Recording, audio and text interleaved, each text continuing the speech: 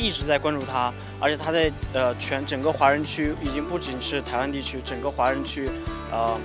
他都很热，所以我今天能有幸看到他，我觉得非常的高兴啊！我觉得他三个字很接地气，我觉得他很亲切，不会让人感觉是像一个官员的感觉，很接地气的感觉，因为他表达以及他的一些